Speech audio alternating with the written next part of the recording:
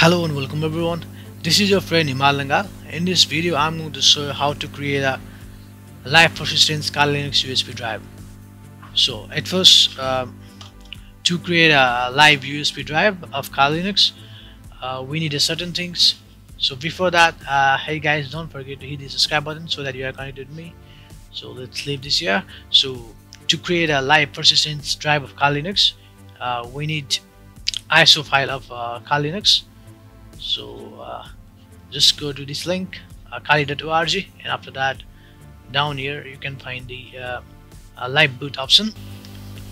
So download the uh, ISO file of Kali Linux from here. So just click on this download or either you can go to the torrent link and download it from there.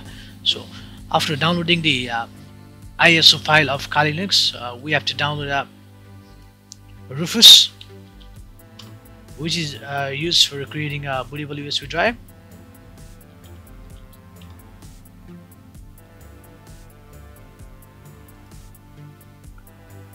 So I'll give this link down in the description box so no need to worry about it. So here we go. Uh, so you can go through these links and you can download the Rufus. So after downloading the Kali Linux ISO file and the uh, Rufus, uh, go to that folder so uh, double click on the and run it as the uh, administrator. So after that uh, choose the USB drive. So I recommend you uh, choosing at least 32 gigabytes of the USB drive. So now choose the ISO image of the uh, Kali Linux. So go to that folder. So here we go and now we have to create a persistent partition size. So for uh, 32 gigabyte of uh, USB drive you can uh, create up to 15 uh, 15 gigabytes of persistent uh, partition size. So here we go. Um, and just leave uh, everything as it is and you can label the volume whatever you like. So it may take a while to create a, a bootable USB drive of Kali Linux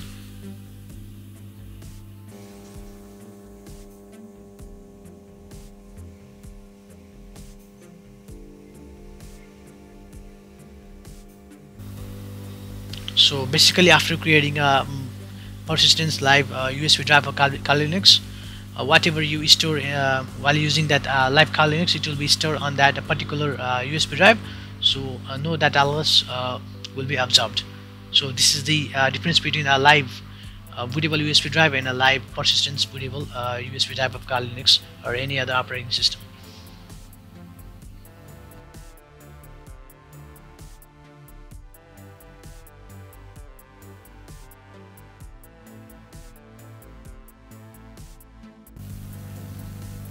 so now uh, the live Kali Linux persistence USB drive is successfully created.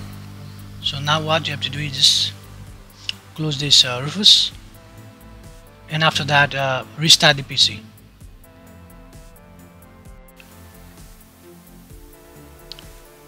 so after restarting the PC on boot setup key. In my case it is F12 so now choose the bootable USB drive so you can see the uh, Kali Linux interface here. So now choose the fourth option live system with USB persistence.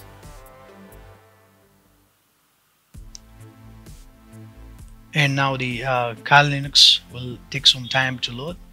So you have to wait until that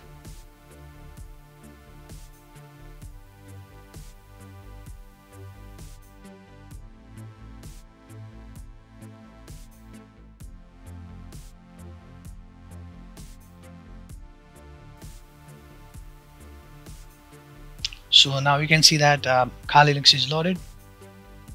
So now you can see the uh, home screen here.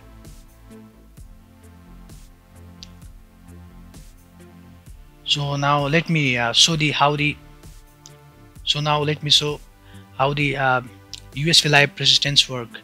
So now so this is the Kali Linux interface. So now I'm going to create a folder uh, to show that um, this uh, live USB stores the files and folders um, and it doesn't erase anything uh, we made a here. So now I'm going to change the uh, background of my uh, desktop as well. So now let me change it. So here we go. So after doing this I'm going to restart my uh, PC and uh, I will show you how the uh, live persistence USB work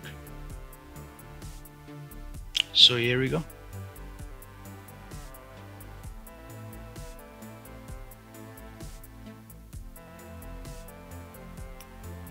So now after restarting uh, let me uh, choose the USB um, device uh, for uh, booting my PC so now again choose the fourth option